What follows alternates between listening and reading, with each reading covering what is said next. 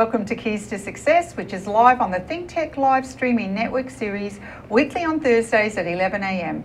We are your hosts. My name is Danelia, D A N E L I A. And I'm the other half of the duo, John Newman. Welcome to the show. The goal of this show is to provide professional and personal development tools and profound insights on how to achieve success in life, career and or business.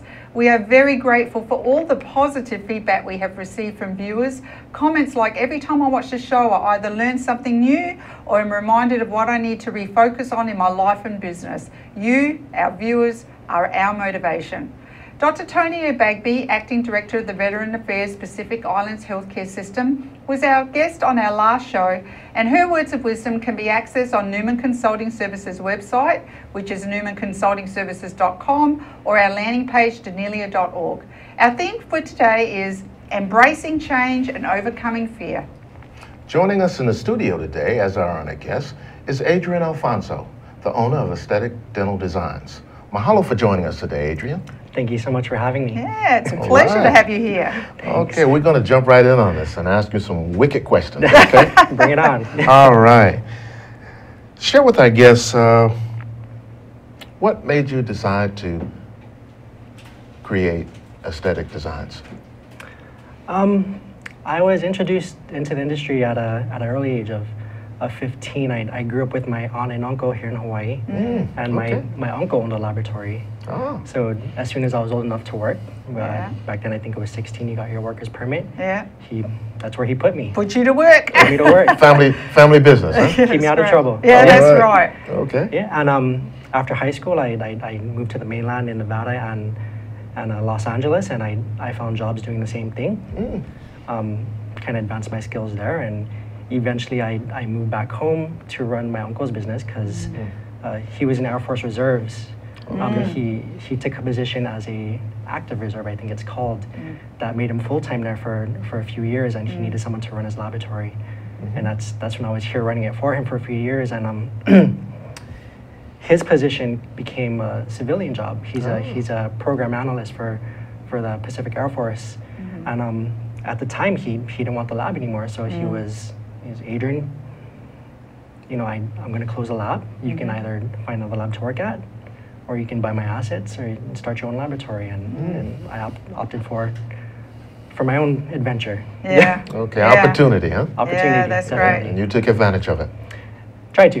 yeah. So when did you take over to uh, with your own business with with that? 2009. 2009. May, 2009. May of 2009 is when okay. we officially officially started okay. on our own. So was there any um, other considerations in your mind at that point? Did you experience any fear taking over the business or were you just really comfortable and just knew that was the right thing to do? It was the only thing I knew how to do, to um, be uh-huh. honest. Um, um, when, when it was presented to me, there was, I think I went through every single emotion there was. Yeah. Um, right from, from going to for working for people to to becoming your own boss it, it sounds great but there's there's so much um, responsibility that comes with that absolutely we yeah. understand that there, there was a lot of fear of course yes. Um, it was fear is not really the right, right word i think it's more concern uh-huh. mm-hmm. because now i'm in charge of my own my own success right mm-hmm. and um, you start to doubt yourself a little bit right yeah, in, in so true it's it's hard in the beginning but yeah. um uh, to overcome that, I, I, surrounded myself with, with good people. I joined a there's a there's a local association mm-hmm. um, of uh, mostly dental laboratory owners, mm-hmm. and okay. and I, I, connected with them, and, and they were reassuring that everything everything's hard in the beginning. Mm-hmm. Um, they they've all been there, mm-hmm. uh, and just just like I I was fortunate to to be your neighbors, mm-hmm. right? my my first our original office was yes. right next door to you, and and those Sundays that you know, John, you would see me in there, mm-hmm. and I'd tell you, oh, it's just busy. You would always just tell me, that's how it is, young man. so things like that really helped. Yeah, and, um, yeah it was. Okay. It was what do you What do you uh, want? What do you want to accomplish? What What What is it that you want to accomplish in your business? You know, what are your goals?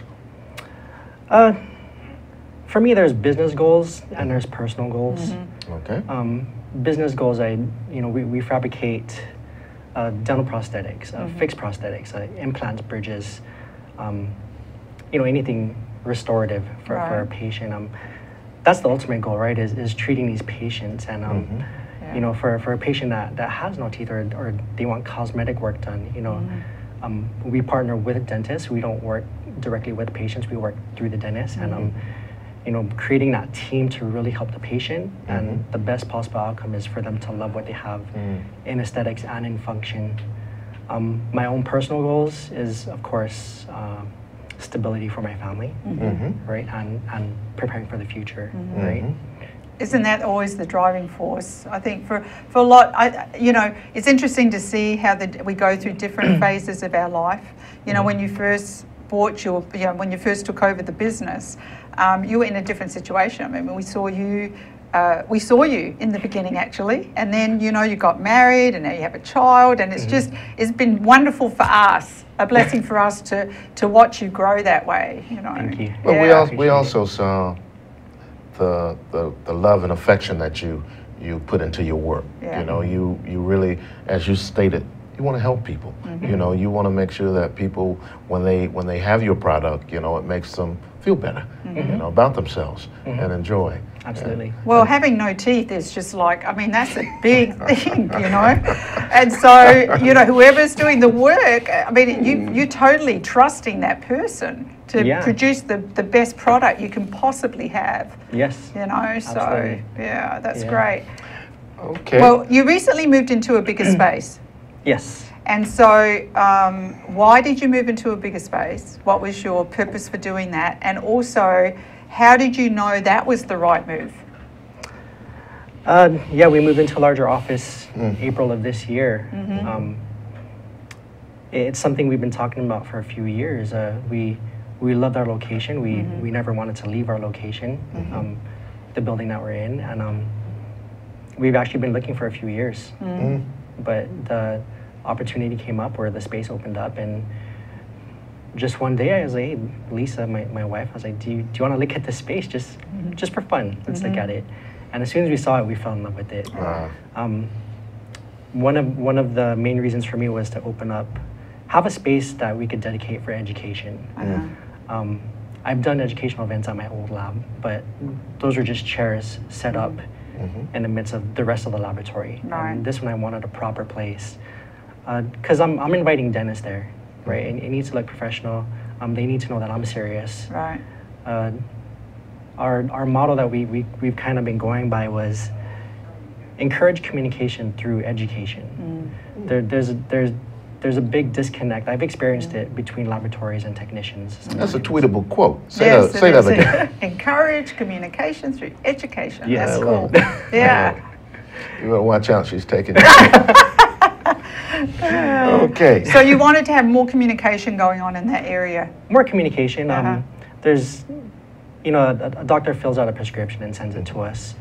Um, we're, we're, we're creating a, a restoration for a patient, but not everyone is the same. Um, there, there's a lot of communication there that, that needs to, to, to be had, especially with implants and, um, you know, fully edentulous, meaning like a patient with no teeth. Or if we're restoring a full arch, right now, now we need to be on the same page as far as function, um, patient expectations, things like that. Um, the education more is to to educate, but more to share stories, right? If, if, if, I, if I'm working with a dentist and we go through these troubles and it took us 10 steps to get there, well, the next dentist I work with, I want to be able to share that experience and get us there in five steps.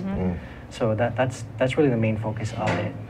But you know, when you when you go, I mean, we were in the same situation when we when we um, first came here to Hawaii years ago, 25 years ago, uh, and we started with a little little room, you know, and then uh, within six months we expanded into the space that, that you see now, which is much larger. And about two years ago we we expanded that as well.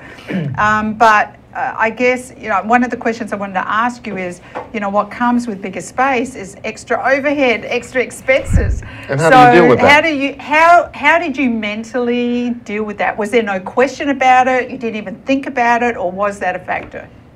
Of course, it was a factor.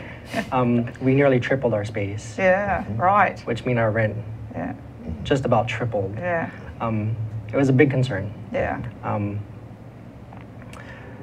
we, Lisa and I, we, we do we do make it a point to have monthly meeting. It's just my wife and I, uh, Lisa and I, running there. But she handles the finances. But it's so important for us to be on the same page. And and and we we talked about it, and we knew that if we wanted to grow our business, this was a move that we needed to take. And it's it's part of it was having faith that that the opportunities were going to come. Um, another part of it was believing in in our business plan. Um, yeah. So did, Yeah. did we know? We we have a number that we have done that we have to hit Yeah. every month, and, Right. and of course that number grew, Right. and really just just mainly believing believing in, in, in our business that, that we can do it was Okay. that's that's how we've we've tackled everything. and believing in yourself. You know, it's interesting because when, when we first moved into our office space, uh, we didn't really need to have a training room, uh, but they offered a, this training room was in a unique situation, location. So they offered to give us the training room for a, for a very reasonable price. And I'm like, I don't know, John, you know, it's a 600 square foot training room. That's a lot of expense. And John's like, baby, we need to do it. We need to do this because you know there, there'll be a re- we will utilize it. There'll be a reason for it. And here now, you know, we can sit 20 people in it. We have laptops, we have tables, and we're doing trainings, and it's just fantastic. You know, all from believing in it. And a little bit before I moved, you guys even expanded more. Yes, Oh, yeah. that's And the true. And the thing that's is, true. You have a goal, Yeah. and as you said, you you you work to achieve your goal. Yes. And if you uh, just take one step at a time, you know, you're always going to be catching up. So if you know where you want to be, Mhm. then put yourself there, and let Put yourself there, and Mm-hmm. also also understand that you will you will hit obstacles. There you go. And you know don't don't be turned away by them. Kind Mm-hmm. of face them and, and get through it and believe in yourself and Mm-hmm. and you know Mm-hmm. Yeah, because because having a business is uh, a challenging but actually fantastic experience.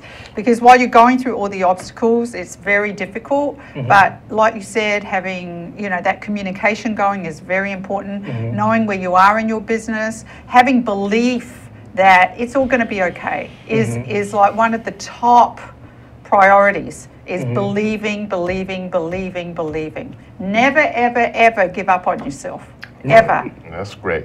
Adriane, statistics show that out of 100 new businesses, 70 actually fade away in the first two years, and 25% survive for 15. Now, you've been in business since 2009, so you're in the top 50% of success rate. Mm-hmm. So, what do you attribute your success to? For one, I think it's the trade I'm in. Um, I'll, I'll have to be honest about that, right? It's it's it's a business that should be around. Uh, Statistically, they are around for a very long time. Um, it, it's a specialty, Oh, yes. right? Right. Um, uh, I, I think one of one of our big success, uh, one of the reasons for success now is is how we've adapted digital technology, right? Digital digital is kind of it's a it has a huge influence in dental right now, um, and that that goes back to the start of digital X-ray, digital charts. Um, You guys are familiar with Yes. with that, Yes. right? But um, uh, now there's digital impressioning, where instead of taking a traditional polyvinyl impression, where you know dentist sticks this gooey stuff in your mouth, has you bite down, now they're taking a camera, camera tip, and it's going into your mouth, and they're taking a 3D image, and um, there's such a uh, sorry, there's there's a huge learning curve for that. um, yes. For dentists and for laboratories. Right. Um, for me, na- I naturally caught on.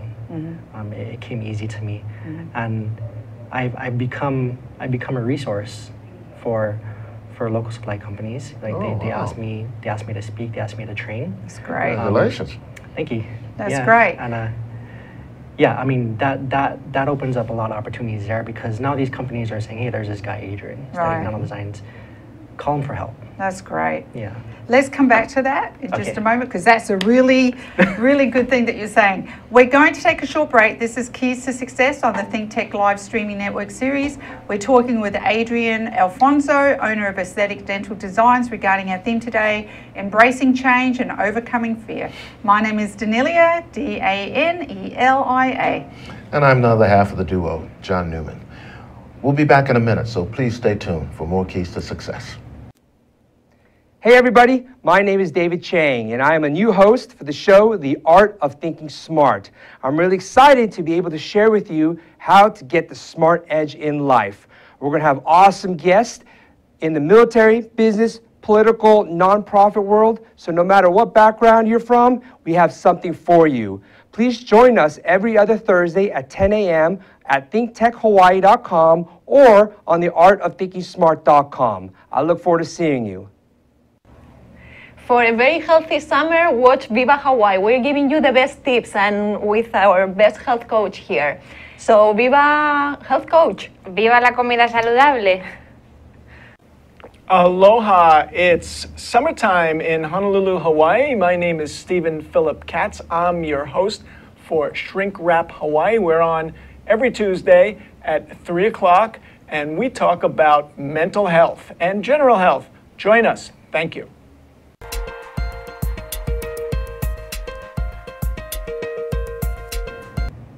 Welcome back. This is Keys to Success on the Think Tech live streaming network series. We encourage you to call our hotline at 415 871 2474 to join our conversation or tweet us at ThinkTechHI if you have any questions or comments.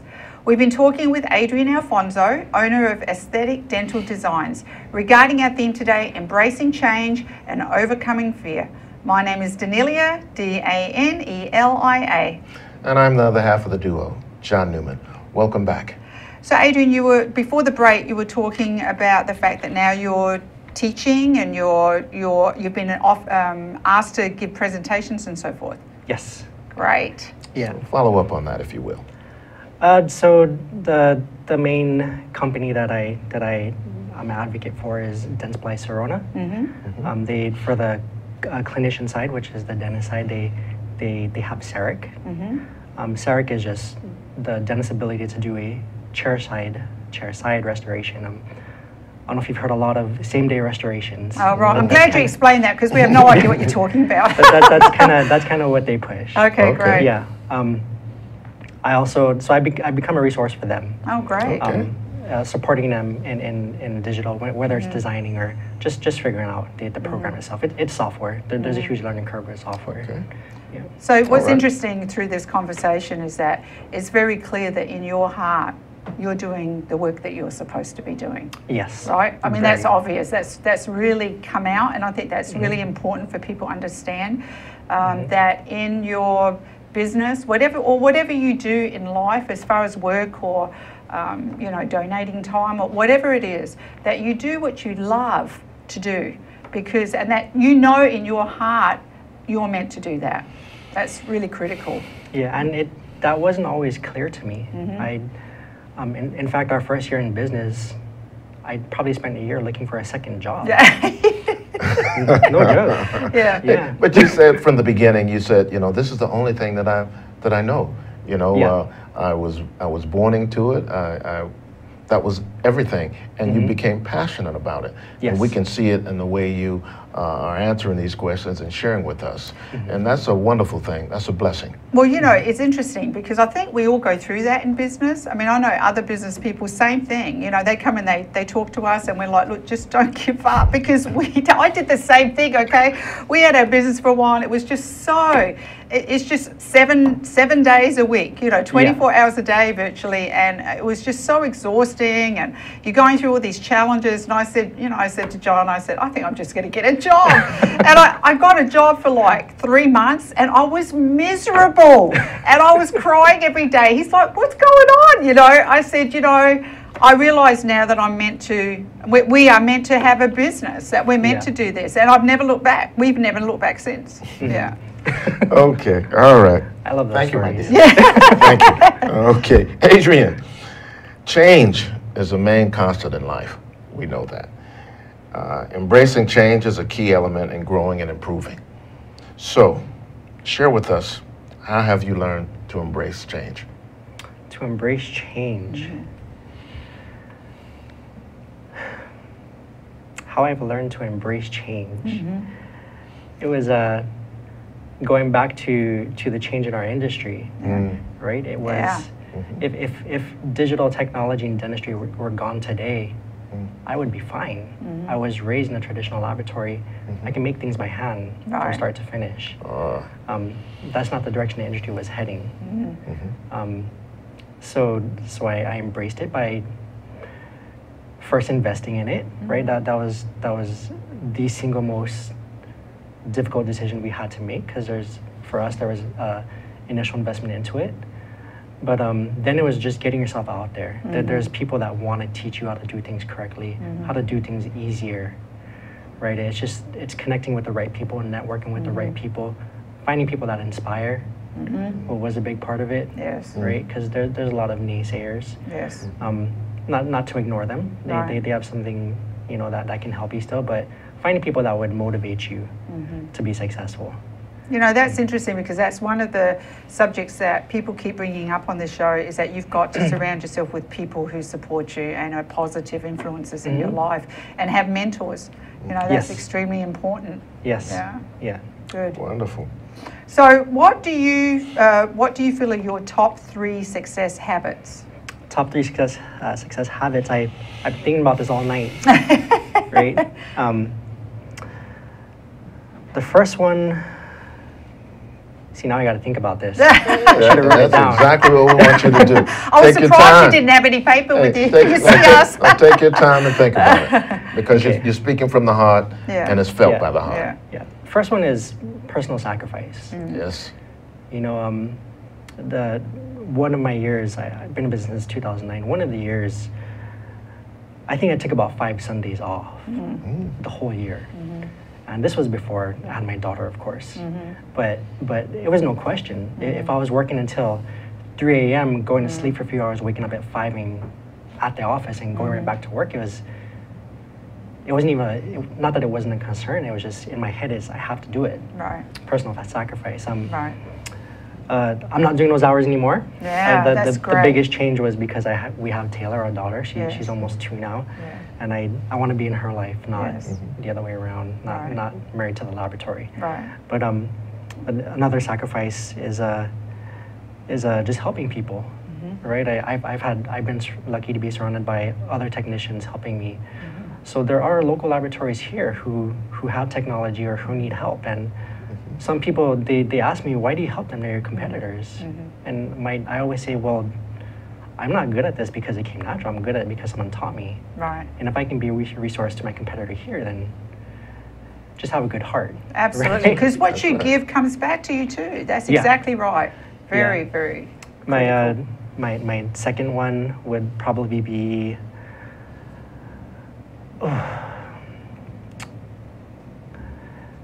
So personal sacrifice was the first one. Right. Second one would be clear conscience. Okay.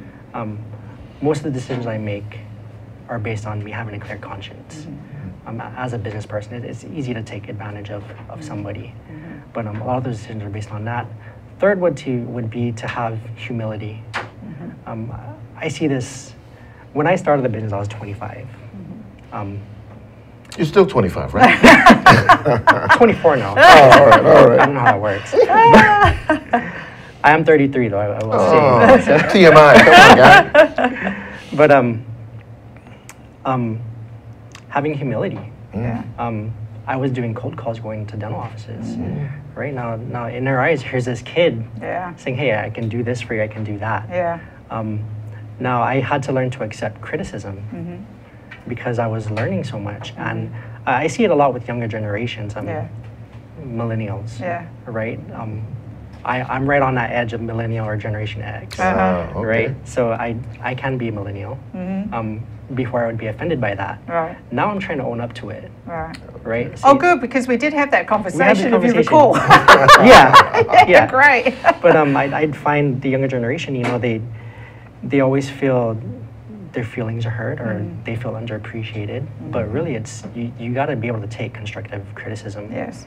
And for me, that's humility. Yes. Mm-hmm. And being being able to accept that is one of the things that in my head as a business owner is like I'm always learning.